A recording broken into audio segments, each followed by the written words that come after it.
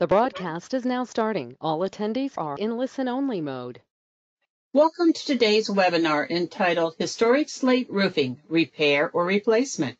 My name's Billy Zadig, Manager Special Programs for APPA. Just a couple housekeeping items before we get started. The webinar recording will be posted to the APPA webpage under the Continuous Learning tab later today. Professional continuing education certificates are being offered for today's program. Those who indicated they wanted a certificate at registration and meet the requirements will receive certificates later this afternoon. All attendees are in listen-only mode. Please type your questions in the chat box and they will be answered in the order they are received. If we run out of time and we still have questions, responses will be sent directly to the person asking the question by our presenter. At this time, it's my pleasure to turn this over to Chelsea Griffin Knott, our speaker for today's webinar. Chelsea? Take it away. Thank you for that introduction. So here we go.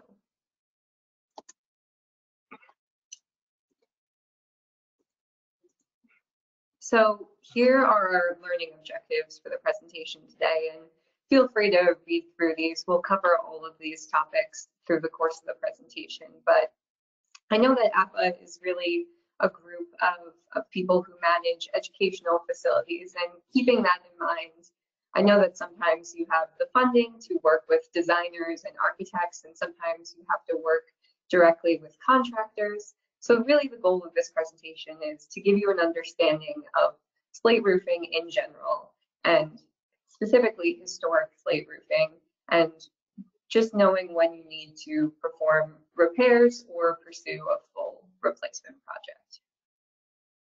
So starting at the very beginning with what is slate, so slate is a metamorphic rock originally formed from a sedimentary rock called shale. So thinking back to grade school, we have three different types of rocks. We have sedimentary rocks formed from sediments building up over time. Then we have igneous rocks, which are formed from lava. And then we have metamorphic rocks, which are either sedimentary or igneous rocks that are exposed to temperatures and pressures that cause their composition to change and slate is one of these. So the temperatures and pressures that form slate are due to tectonic plate movements and specifically the building of mountains, which is what we're, we're showing in the center graphic here. Then if you look at the images on the bottom, at the bottom left, we're, we're giving you an idea of that original sedimentary stone building up over time, and those sediments create the layers known as the bedding plane of that original stone. Then as the stone is exposed to the temperatures and pressures, it starts to change, which we're seeing in the second and third graphics here. And those temperatures and pressures cause what's known as the cleavage plane of the slate, which is that layer that slate is famous for, where it'll break off into those thin sheets. Those are what's known as the cleavage plane. What I really want to point out here is just that the cleavage plane and the bedding plane are two separate entities that typically form at angles to each other. So sometimes you'll see pieces of slate that have these ribbons of color, and that's you getting a view of the original bedding planes, of that original sedimentary stone.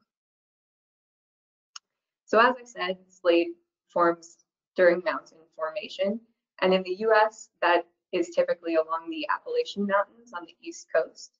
So prior to 1915, there were over 200 quarries operating all up and down the mountain chain, but nowadays there's only about 20 total um, currently operating, primarily in the Northeast region, with Vermont being one of the biggest modern day producers of slate. So when we talk about slate, obviously there's all sorts of different colors that we could be working with here, and different regions are famous for the colors available there. For example, Vermont is pretty well known for gray, black, green, and purple varieties of slate. And New York is relatively famous for the bright red colored slate. And I believe that's the only area where you can find that color of slate today. And when we talk about slate color, an important idea is this idea of fading versus unfading or weathering and non-weathering slate. So you may have a slate roof when it's freshly installed that looks similar to the image in the upper left here, all consistent, one same color but over the course of days, months, years, it may start to look more like the image on the bottom right here, a shift to lighter shades of gray and even shades of brown. This is what we would consider a fading or weathering variety of slate. It really just means that the colors will, will change a bit over time. And it's important to note that this does not mean that the slate is of any lesser quality. It's really just an aesthetic choice that's important to be aware of, whether you're performing repair or replacement work. What you want to keep an eye out for is slate that starts to look like this image over time, because this is indicative of ferrous deposits in the slate that are starting to oxidize with exposure to the elements, which then is resulting in slate breakage. So here's a few examples of the different slate roofing patterns you might see. We're probably all familiar with your traditional rectangular shaped slate. The slate can also be cut into um, a different exposed edge. So here in the left two images, we're seeing some scalloped edges on the slate. And in that second image there, you're seeing that bright red slate that typically comes from New York. So now to get a bit into the history of slate, so you'll see this timeline starts around 1300. This is around when the people of Wales really started to develop a systematic approach to quarrying slate and using it as a roofing product. I will say that there is evidence of slate being used as a roofing material dating all the way back to Roman times, but I start this timeline around here because the people of Wales are really famous for, for their slate roofing. Then in the 1600s, we see slate roofing start to move to the States as people from the UK immigrate to America and specifically people from Wales.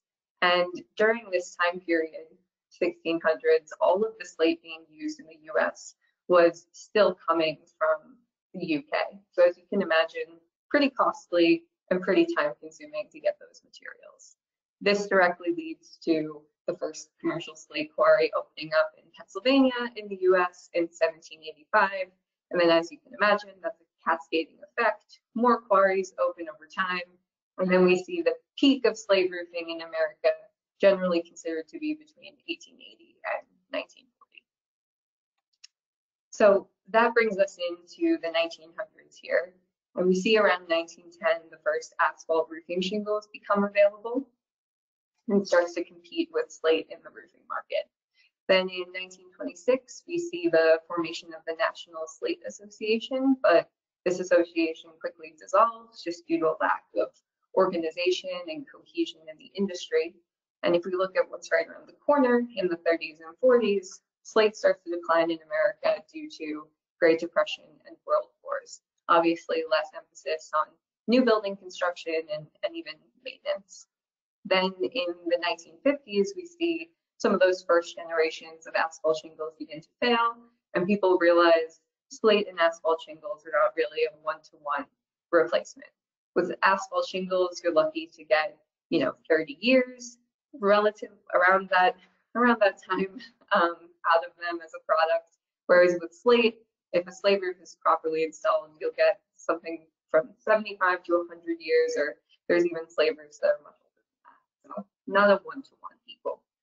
In 1966, we see the National Register of Historic Places is created, and obviously this puts an emphasis on preserving historic buildings and historic slate roofs. Then in the 1970s, we see a revival of slate due to the oil crisis. Asphalt shingles are an oil-based product, so as they become less available and more expensive, people kind of start to turn back to slate as a material and and revive that appreciation. In 2002, we see the reformation of the National Slate Association, and they continue to be a relevant entity to this day. What I want to point out in this timeline is we have a bit of a gap here between the decline of slate roofing in the 30s and 40s and then the revival in the 1970s. And as you can imagine, during this time period, there's some knowledge lost between generations of roofers and obviously just a lot fewer roofers in general who are able to do this kind of work very well. So if you have a roof that you know was installed in this time period and you're you're having issues with it, there might be larger construction issues going on just in terms of craftsmanship and, and knowledge. So now to talk a bit more about historic buildings in particular. So with historic buildings, you may already be aware that your building is historic, or you may not. So it's always a good idea if you have a suspicion that it might be, you know, a historically important building to do a bit of research and and see if you can find anything. So a good place to start is the National Register, the mm-hmm. National Register of Historic Places database. This is available online, pretty easy to navigate. You can search by building name or address, and it'll pop up some some interesting information, potentially some some plans or historic photos or, or forms. But obviously this is for the National Register and not all buildings have significance on the national level. Some buildings only have significance at the state or even local level. So it's good to check um, those entities as well. And this is all important because it'll start to give you an idea of who might need to be involved in your repair or replacement project. You'll know kind of what jurisdictions are going to want to, to have some say.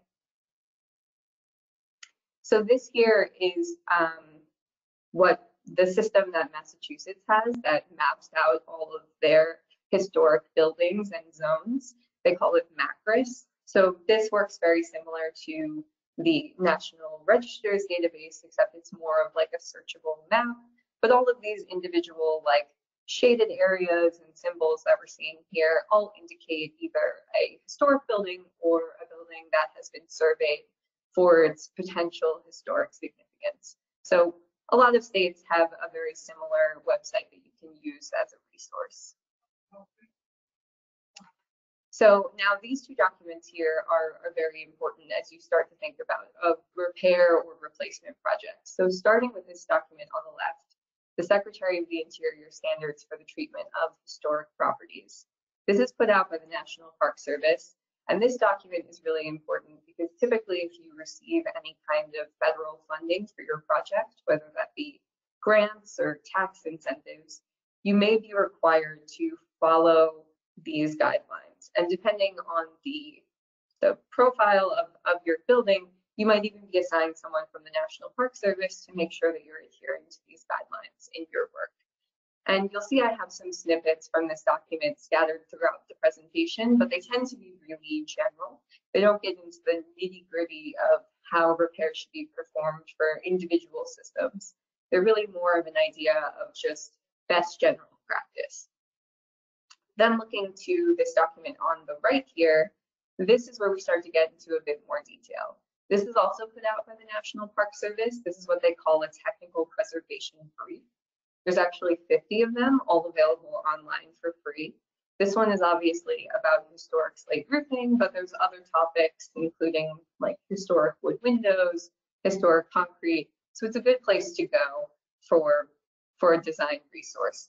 And these start to get into a bit more history of these individual systems and then start to get into a bit more detail of preferred repairs and when you should start thinking about replacement for some of these elements.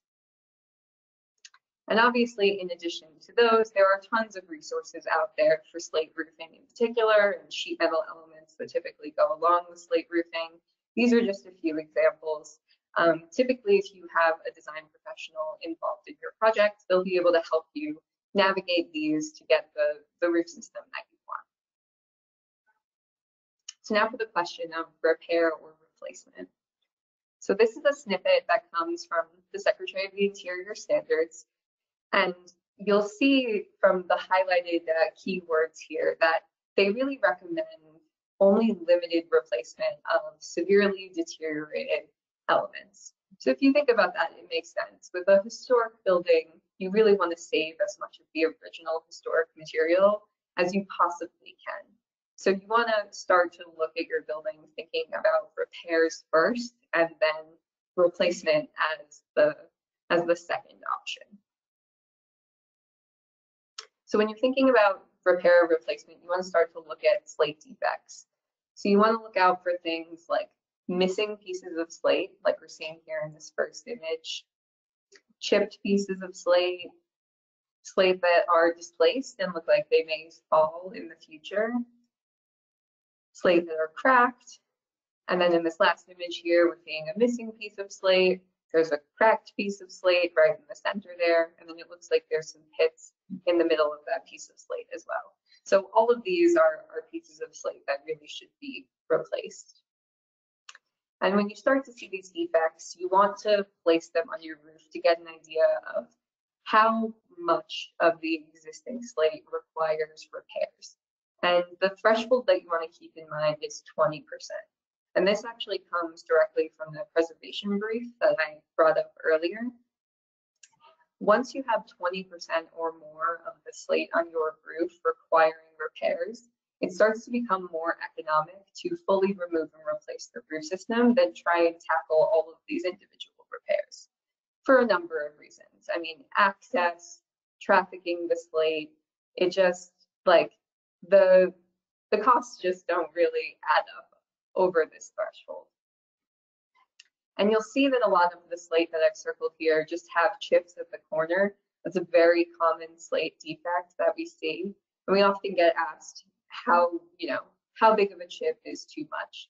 So typically anything larger than an inch by inch, like what we're showing here, is something that you would want to replace. And that's because any larger chips than that start to run the risk of water being able to travel into that lower course of slate below the one with the chip. And potentially that water can find its way to fastening holes or between the joints in the slate and eventually find its way into your building interior. But when thinking about the slate roof, there's there's other things to consider. For example, things like lichen growth. So lichens often attach to slate and they actually excrete an acid that can deteriorate the slate and they're very difficult to remove. So if you have widespread lichen growth, but your slate below still look fine, you might want to think about those larger areas actually requiring replacement. In addition to that, you want to take a look at the sheet metal elements associated with your slate roof system. In this place, in this case, we're looking at copper and, and copper and slate often go together. And we see this hip cap is deformed. It looks like it's displacing. It looks like it could use, um, use replacing. And when we're talking about copper, we also want to keep an eye out for, for how copper changes as it ages. So we're all pretty familiar with copper when it's firstly installed, is this bright bronzy brown color, but over time it develops that green patina that it's famous for. But as copper starts to, to age past that patina, what happens is the patina starts to wear away and the slate starts to revert back to this dull brownish grayish color. And sometimes you'll see something like this, streaks where the patina is starting to potentially wear away. Often if you're seeing copper that looks like this, you'll start to find pits along along the elements and and that's a dead giveaway that the copper is past its useful life and, and should be replaced. And as I kind of alluded to earlier, access is really important when you're thinking about slate repairs versus replacement. Slate, as it ages, becomes more brittle. So if you need to use scaffolding, similar to the images on the left here, the two images on the left. This will require you to traffic a lot of the roof system to perform those individual repairs, and you'll probably end up breaking more slate along the way. So not every site has, you know, 360 access all around to be able to get everywhere with a lift versus scaffolding like this. So it's just another item that may push you towards, you know, wide, wide scale replacement over individual repairs.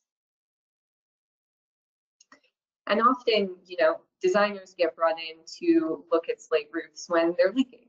You know, that's how most owners evaluate the, the performance of their roof systems.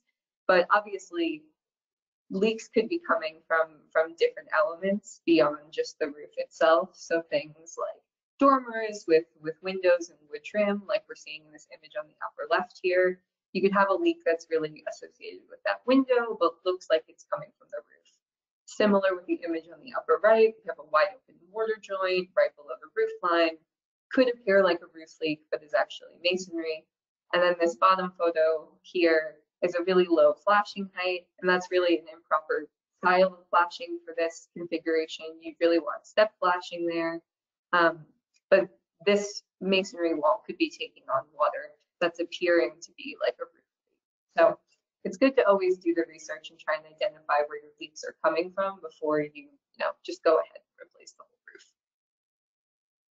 So now to talk a bit about what repairs for a slate roof look like.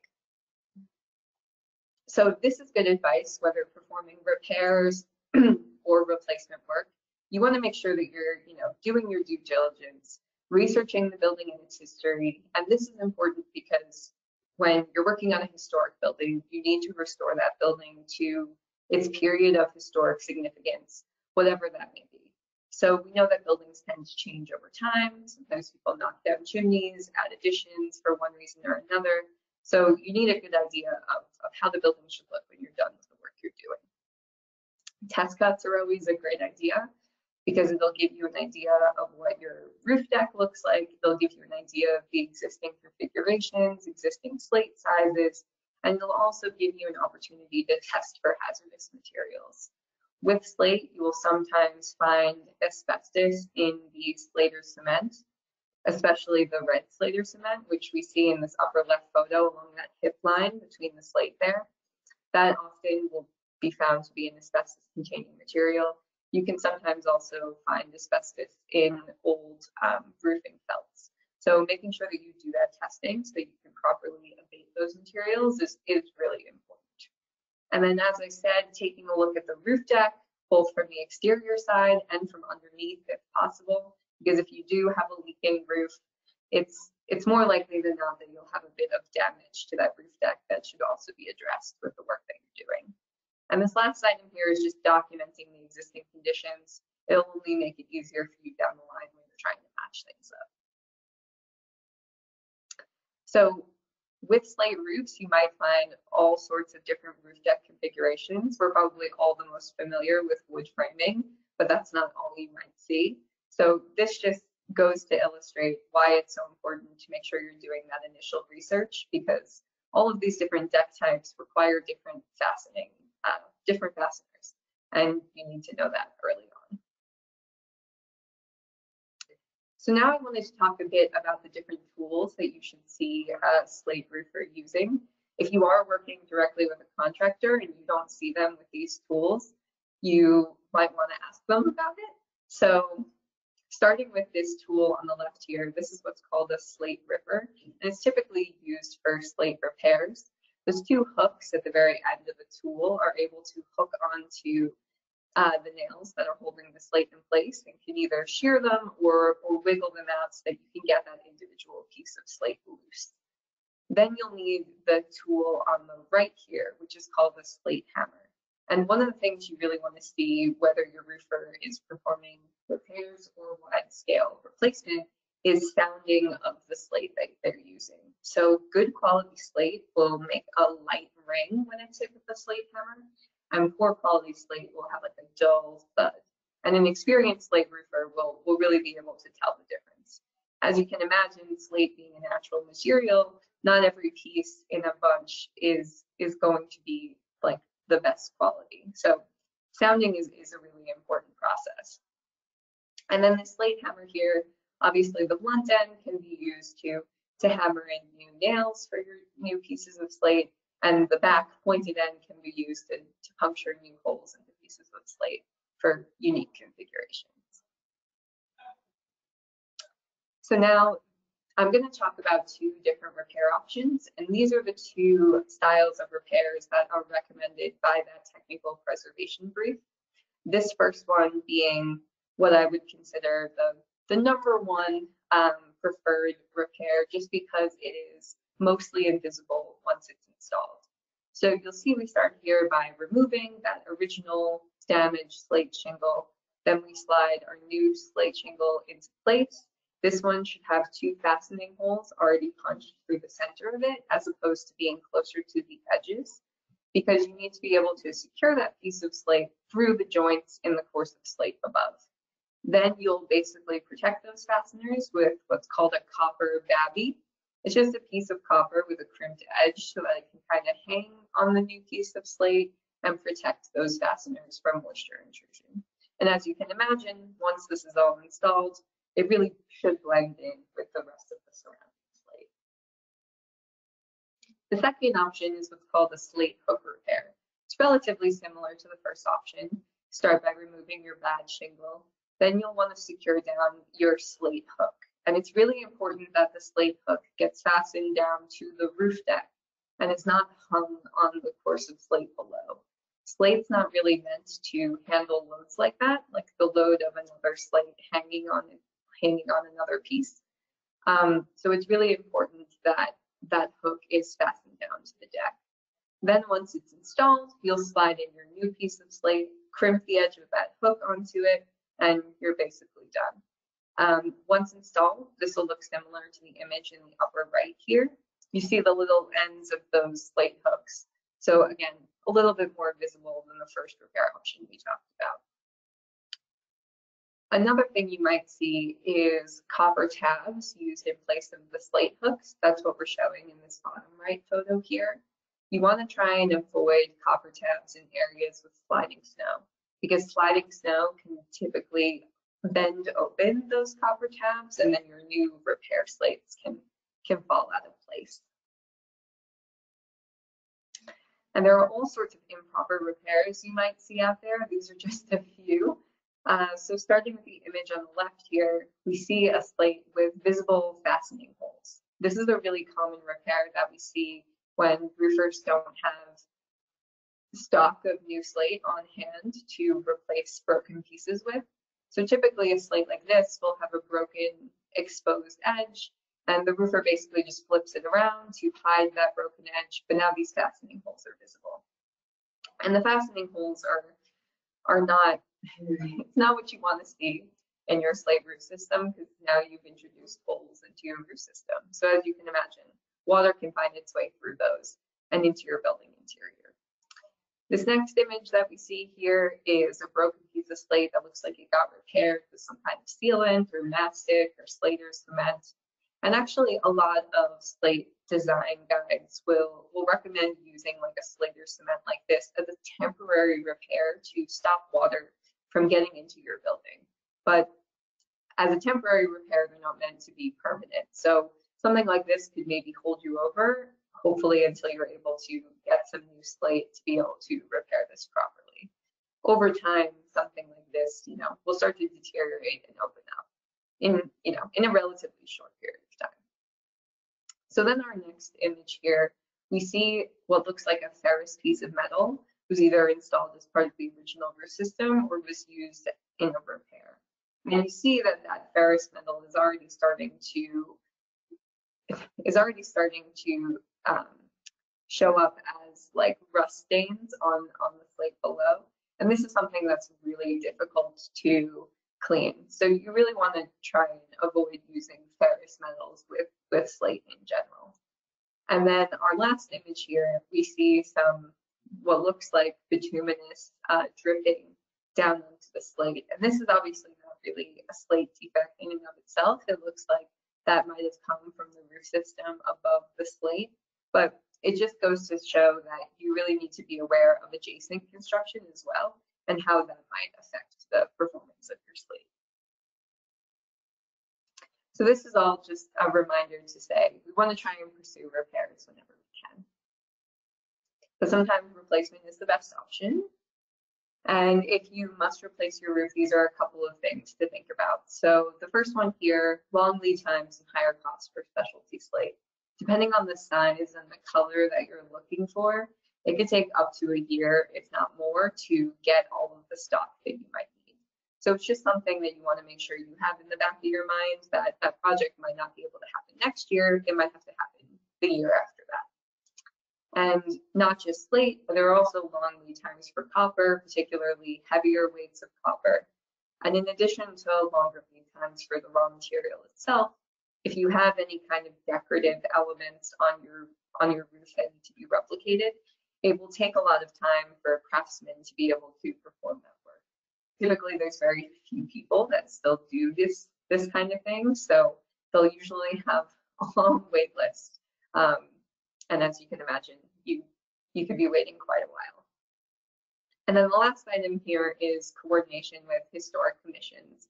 So as I said before, you know, depending on your building and its level of historic significance, you might have to work with some of these commissions and get their input on all of the work that you're doing. So that's, you know, approval of mock-ups, approval of colors, you know, construction meetings, design meetings to make sure that, that everything is aligning the way everyone wants it to. And this is just something that you just typically need to budget some, some extra time and coordination work for. So this is another snippet from the Secretary of the Interior standards. And this is specifically in regards to replacement work. So what I want to point out here is that if you have a historic building with a historic slate roof, you really want to make sure that you're replacing that original roof with a new slate roof. There are some products out there, asphalt shingles that are made to look like slate or even faux slate that's actually made of plastic um, that try to mimic slate's look. But if you do have a historic building, you're really backed into the corner of, of going back with that original material. So when thinking about replacing your, your roof, one of the first questions might be what kind of slate should we be using? And that directs you to this ASTM standard, ASTM C406, which actually consists of three separate tests to basically determine slate quality. And those three tests are for depth of softening, which is also known as the weathering of the slate, another for water absorption, and then the last for modulus of rupture or the flexural strength of the slate. And depending on the results of those tests, your slate will be put into either the S1, S2, or S3 categories. And typically for roofing, you want to make sure that you're using S1 slate, and this may even be required by your local building. So one of the questions we often get is, can any of my existing slate be salvaged? And the answer is maybe. Um, in that kind of situation, it's typically a good idea to take down some sample slate from your original roof and subject it to this ASTM C406 testing. If you find that your original slate is still S1 grade, then by all means, it's a possibility. But if you find that you're in the S3 range, only expecting maybe 20 to 40 more years of life out of it, that would be something that you would probably just scrap and go back with all new.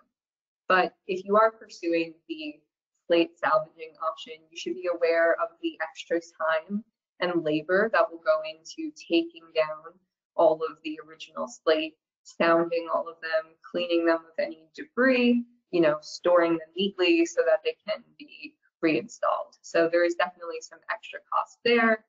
Even if you're saving in raw material, you know, you're still paying for, for labor and time. And another thing to think about when you're considering a full slate replacement is your underlayments.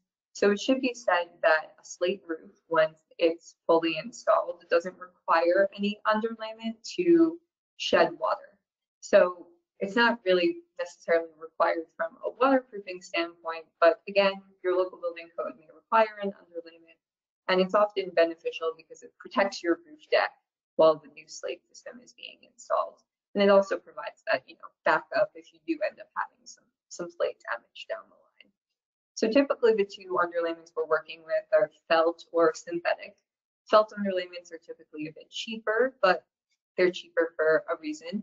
Uh, they typically cannot be exposed to UV light for as long as synthetic underlayments. With felt, you know, you could see some warping or wrinkling after only a few days of exposure in the sun, whereas a synthetic underlayment can typically be exposed to light for up to 90 days, if not longer. And there's other benefits too. The synthetic underlayment is typically a bit easier to traffic, so sometimes roofers prefer it for that reason. But in addition to these underlayments that are typically used throughout the field of the roof, you'll want to try and install modified bitumen underlayments, which are typically self-adhering membranes at critical points on your roof. So this graphic on the bottom left here shows those typical areas where you would see a modified bitumen underlayment. And the reason we don't typically use it everywhere is because those products are even more expensive than your felt or synthetic and it's particularly important to install modified bitumen underlayments under sheet metal elements, which you'll typically see at ridges, hips, valleys, eaves, um, because the sheet metal elements of your roof will start to fail before the slate does. You know, if we're talking 75 to 100 or more years for your slate to really start to fail, copper is never going to be able to last that long. So the modified bitumen underlayments give you that extra layer of protection, you know, should your sheet metal start to fail down the line. And I do want to point out it's very important to use a high temperature modified bitumen product, particularly under sheet metal elements. You can imagine the sun heating that sheet metal heats it up to a to a high temperature and that can start to almost melt uh, lower temperature modified bitumen products and you can start to get kind of dark streaks on on elements below your roof sticking with a high temperature product will reduce the potential for that Another design consideration is snow management. So you might have a historic building that already has a snow management system, but if you don't, you may be experiencing some issues with sliding snow. Slate is a relatively slippery surface. So typically the two systems we'll use for snow management are snow tabs or snow rails. What you often see with historic slate roofs are the snow tabs shown in this bottom left photo here. These are called pigtail snow tabs. Um, they're basically just copper wire in a loop. We often find them deformed like this. Uh, they're really not that robust. They're like a small piece of wire. You can imagine a lot of snow against that, easily bending it out of place. If you are pursuing a full replacement project, you might want to go back with a pre-manufactured style of snow tab, which I'm showing in the center photo here. And you may be thinking, well, if it's a historic building, do we really want to change the look of, of this snow management system? And obviously, if you're adding this to a building that doesn't already have these, you know, that's a significant change. But it can be worth it in some instances if you are having significant sliding snow issues because sliding snow can can hurt people, can damage property. So snow management is is really important. So another option is snow rails, which we have an image of on the bottom right here. Snow rails, you can imagine because they're all connected to each other, they can hold a lot of weight of snow. They typically require some structural augmentation to support them. So it's typically easiest to install snow rails if you have an existing wood roof deck because it's easy to access from the exterior. You can just remove a couple of individual planks add some supplementary wood framing, which we're showing in this detail snippet here, and then, you know, put your roof planks back, and then your snow rails are all set. This may not be possible if you're dealing with a gypsum or cementitious deck. You know, you might just not have the access available. But the best system is typically a combination of both of these to help break up snow and hold it on the roof system so that it doesn't slide off in in big chunks.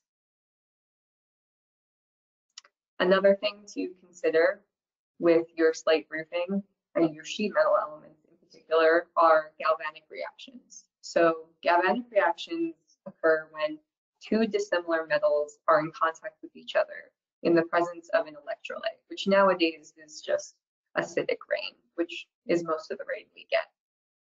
What happens is the less reactive uh, metal, um, in this case, metals like lead, copper, and stainless steel, will deteriorate more slowly, while the more reactive metal, something like zinc, galvanized steel, or aluminum, will deteriorate more quickly, essentially sacrificing itself for the less reactive metal.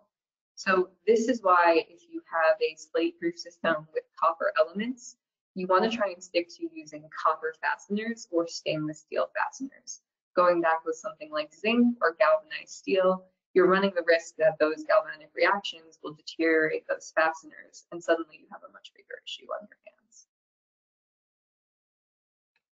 So now with this slide, there's a couple of things I want to point out. So I'm gonna get my little laser pointer here. So starting with the length of the slate, which is really made up by these two dimensions, exposure and head lap. Exposure is pretty straightforward. It's really just the amount of slate that you see at each course. Sometimes this will be consistent throughout the field of your roof. Sometimes your exposure will get smaller as you work your way up towards the ridges. Just depends on the pattern that you have. That one's pretty easy. Headlap is a bit more challenging to see. So headlap is how much a third course of slate, so in this case, this piece here, overlaps a first course of slate. So that would be this one down here. And this is important because it basically serves to protect all of these joints in this course of slate below. If you think about this second course, if this piece of slate didn't overlap that one, then we'd have a gap here that water would be able to find its way into. So that is this dimension here. You see how the dashed line lines up. So another important dimension is side lap. That's this three inches minimum that we're showing here. It's important for very similar reasons to why headlap is important.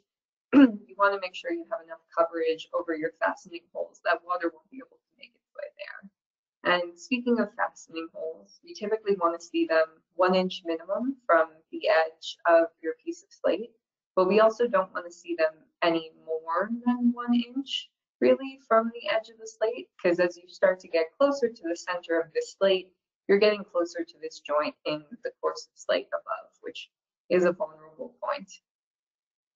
But you also don't want this fastening hole to be too close to the edge because if it is, it could result in breakage. So those are your general dimensions for slate. I also want to quickly take a look at this image here because this is typically how a slate roof starts to be installed you want to make sure you're starting from the eaves and, and working your way up. It's pretty obvious. But it's important that you see a starter course of slate going down, which is this little half piece that we see here. This piece really serves to protect these joints in the first course of slate and helps to create a drip edge that will make sure water is running directly into your gutter and hopefully not working its way back into the root system. It's also important that you see some kind of wood or sheet metal shim below these first two courses here. This sets up those two at the correct angle with the rest of the roof system.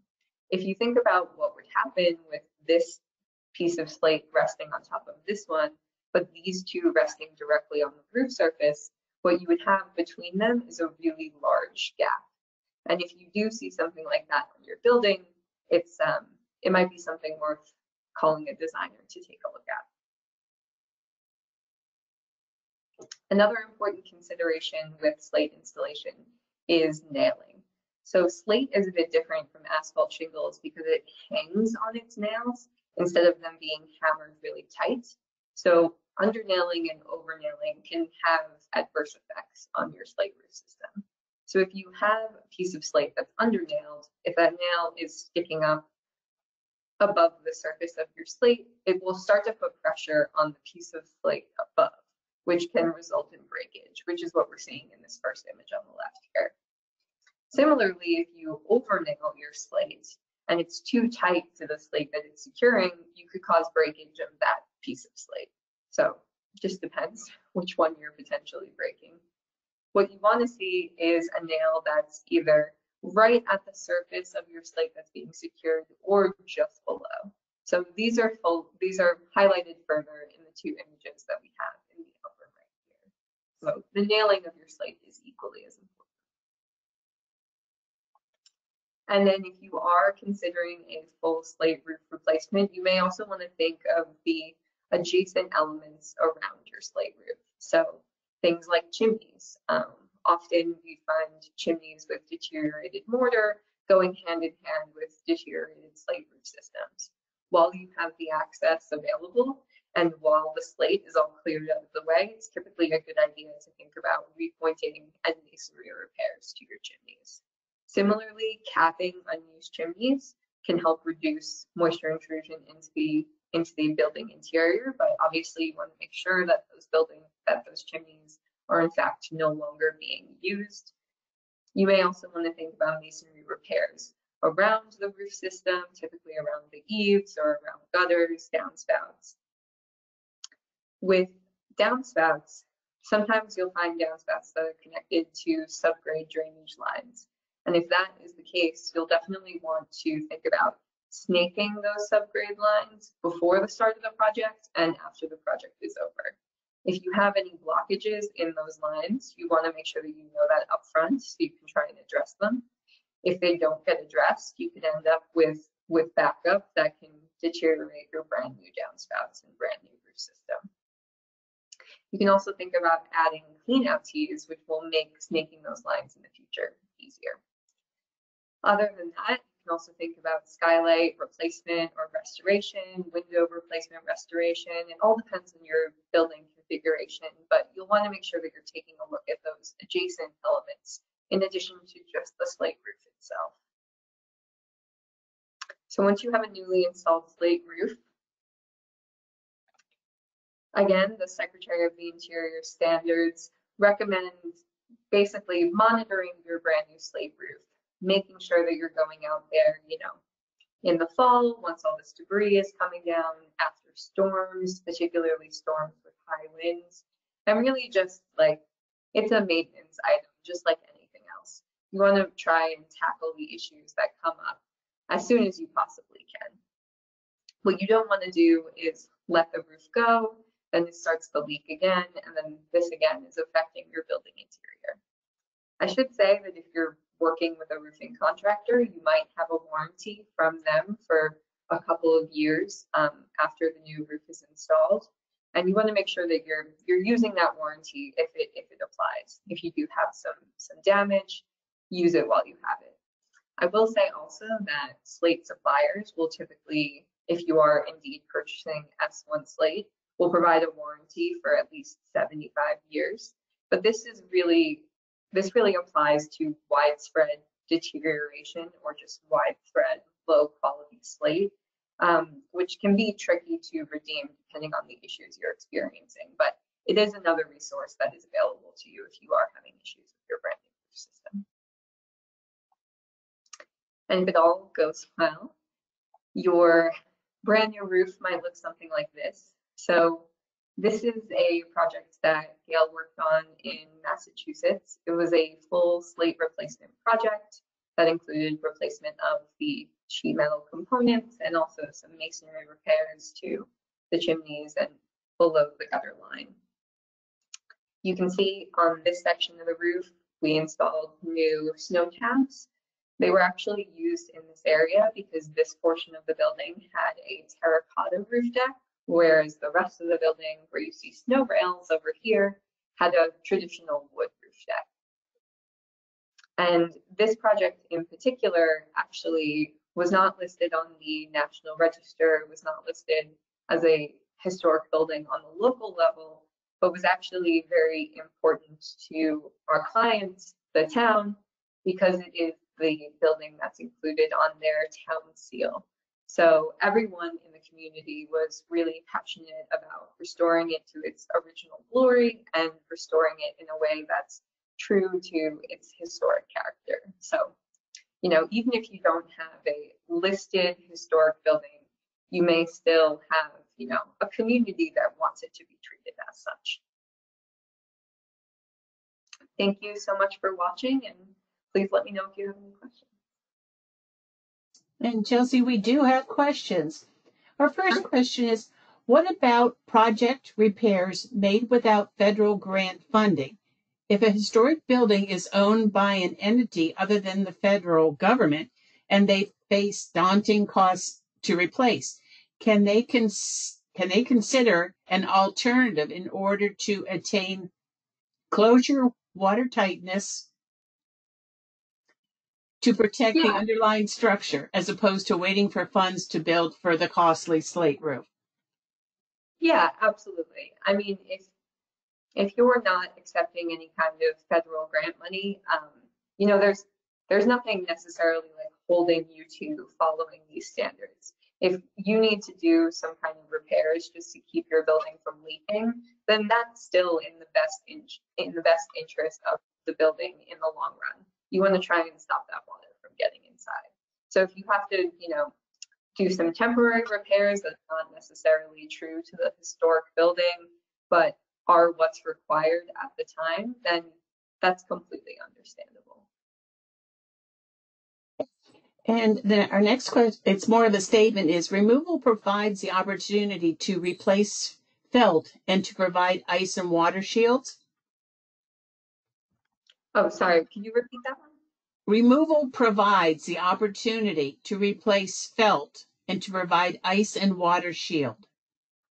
Yes, absolutely. Yeah, that's that's the benefit too of, of doing a, a full replacement project. You can access all of those elements, get rid of all those old materials and go back with, with something new. And one is one talking about a particular slide. It said, is that a clay tile roof deck? Can you repair, replace slate? Can repair, replace slate be nailed to that? Yes, they can. So it can be a little bit tricky with those terracotta roof decks. They are quite brittle.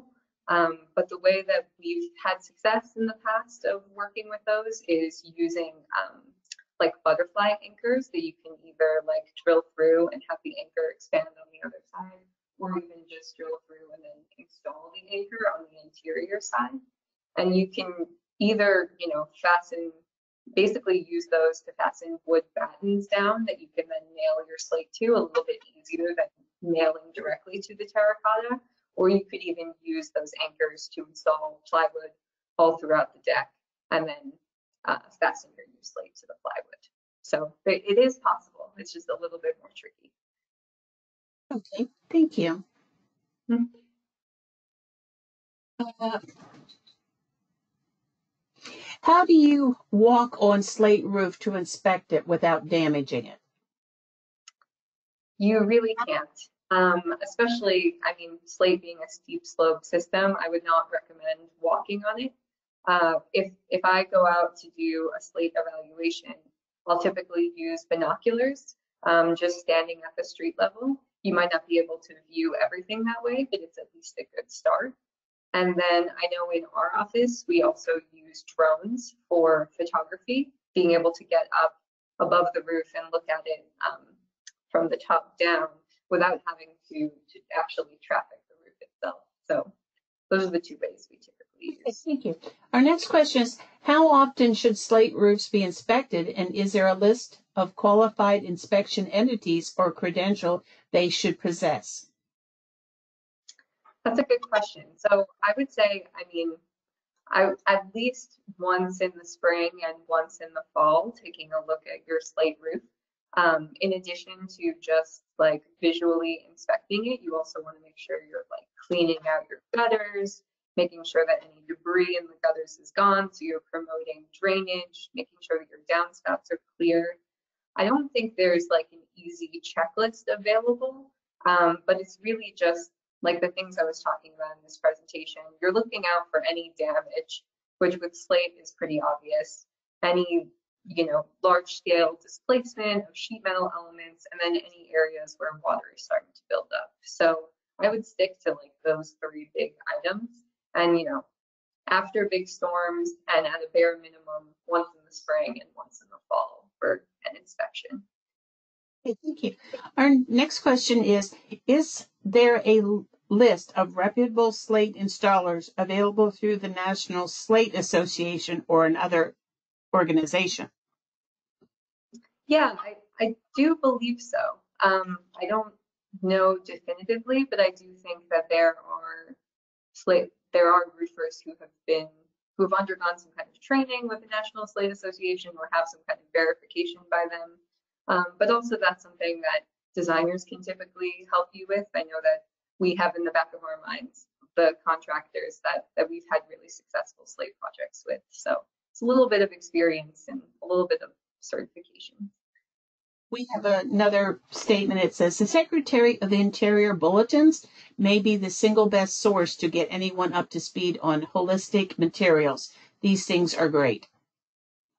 Yeah, no, I completely agree. I completely agree. It's it's a great resource.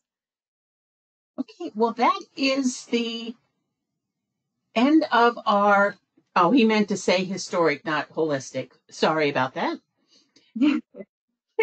anyway, that's the end of our questions for you. Uh, Chelsea, thank you so much. I, I learned a lot about slate roofs because I like slate roofs. Um, so thank you for doing our webinar. And to those who are asking about getting presentations, Chelsea will send me her presentation and it will be available uh, as a follow up in your email uh, that you'll get tomorrow. So, uh, again, Chelsea, thank you so much. You are the finale of our 2023 webinar season. So, thank you so much for a great ending to all of this. And to our attendees, as always, thank you so much for taking time out of your busy schedule to be with us. So, as always, let's have a great day, rest of the week, and with the upcoming holiday season, be wonderful to each other. Thank you so much. Have a great rest of 2023. Bye bye Yeah, now. thank you so much.